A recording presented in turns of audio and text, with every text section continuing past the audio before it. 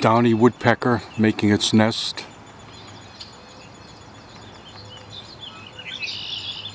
Shannon Beach, Mystic Lakes, Sunday morning,